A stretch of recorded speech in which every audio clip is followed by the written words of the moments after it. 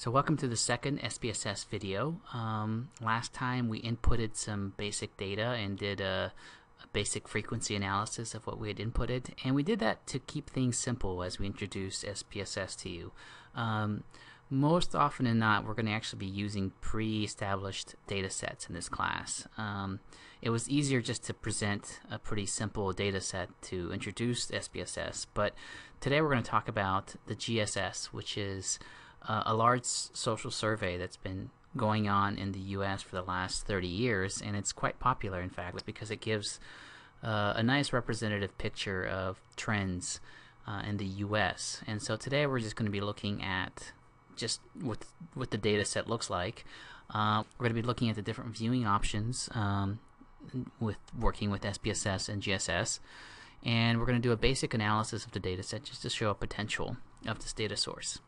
Um, to get started, you just need to locate the GSS and your computer. It might be in the desktop or perhaps it's in, in the class file somewhere and just double click on it and it should launch SPSS and the dataset at the same time.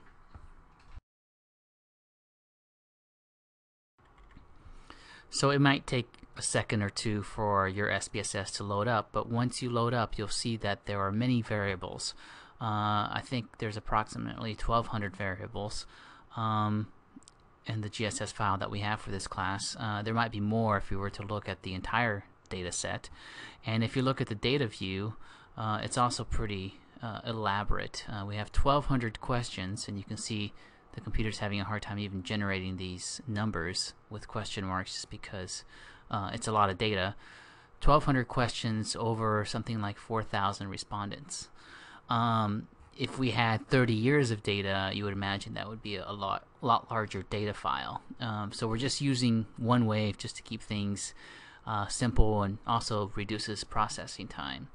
But uh, just like in our example, the same logic operates when we're looking at the data view.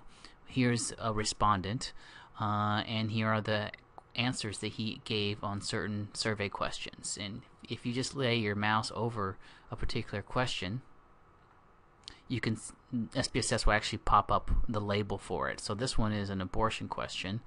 Um, I think all of these are kind of abortion questions. Uh, whether or not um, is or is abortion okay for any reason?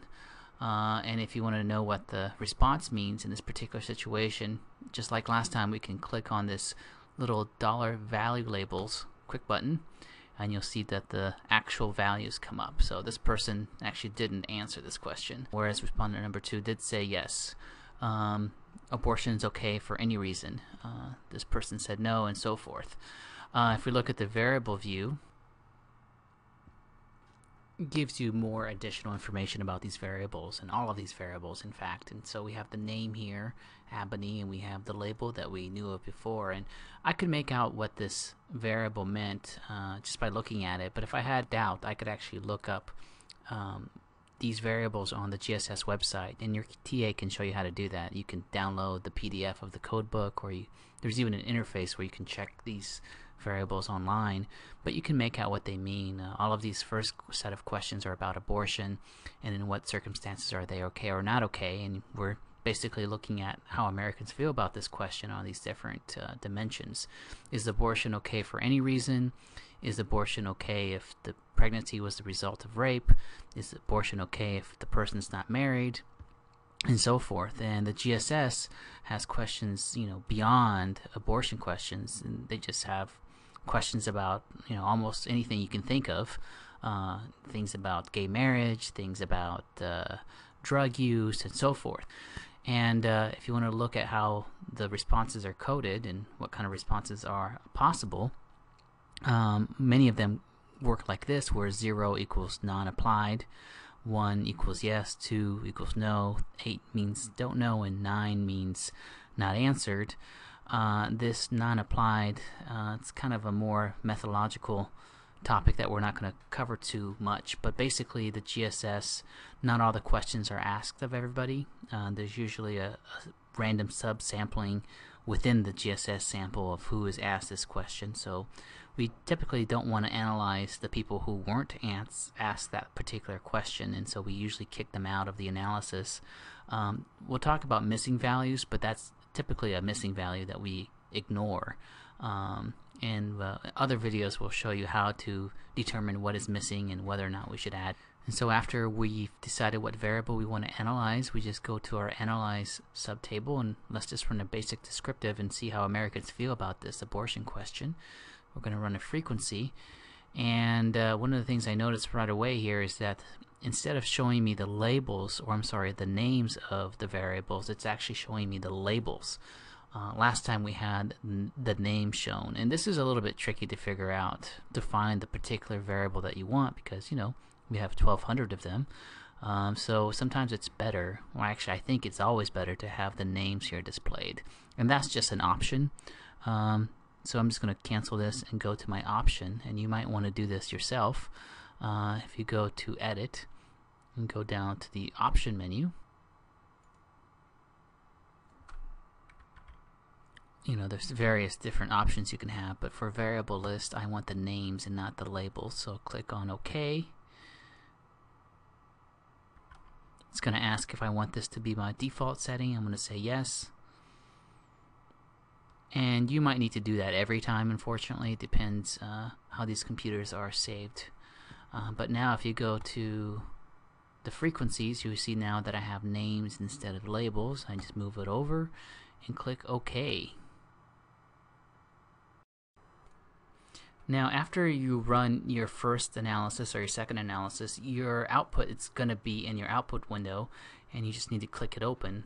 Now, remember, um, the output doesn't exist until you actually run your first analysis, and then uh, it's going to pop up like this. But when you do other analyses, um, it's it's going to remain just minimized. So you actually have to find it and open it up. And to get back to your data set, you just click on the data set down here. So anyway, so here's the output window and it generated my analysis and like last time it's told me that this is the syntax command that it operated and here is the question that was asked. Um, and uh, first you can look here and just look at the valid and missing responses. And here missing you know this is something that we designated as missing. Um, these are things that we kicked out of the analysis. And these are the two responses that are being considered valid yes and no. And yes you know 784 people said yes and around 1100 said no. Uh, a straight percentage uh, consists of 17% said yes and 25% no but this straight percentage includes the missing values as well so as I was saying, not everybody is asked this question in the GSS. Um, people are randomly selected to answer this question and 55% of the people weren't asked this question, so we shouldn't really include them in the analysis. Uh, similarly, some people didn't answer the question at all, and some people just didn't know. Um, you know, some people could argue we should include this in the analysis, but if we exclude it, um, it gives us these valid percentages. The valid percentages is the percentage of the valid responses. So if we just include the yes and no's, we have 40% uh, of Americans said yes, abortion is okay for any reason, and 60% said no. Uh, treating the GSS as a representative sample of the United States, we could say that 40% um, of Americans uh, believe abortion is okay and 60% mean no. We can make that kind of inference um, using the GSS. Um, cumulative percentage doesn't really mean anything in this type of nominal uh, variable. It's not continuous, you know. It's if we were looking something like income, then cumulative percentage might have been helpful. Um, you know, now that we have a data set that includes many different types of questions, we can investigate maybe if men and women answer this question differently, or perhaps maybe people of different races answer this question differently, or how income uh, mediates this relationship. And because we have all these different sets of questions asked, uh, we can include these other variables in the analyses. Um, it all depends what we think is our dependent or independent variable. And uh, if this was some kind of project where, where we're exploring how Americans think about abortion, you know, this would be our dependent variable. Uh, and then um, things like race, income, um, maybe number of kids, your religion, background, uh, those would all be our independent variable.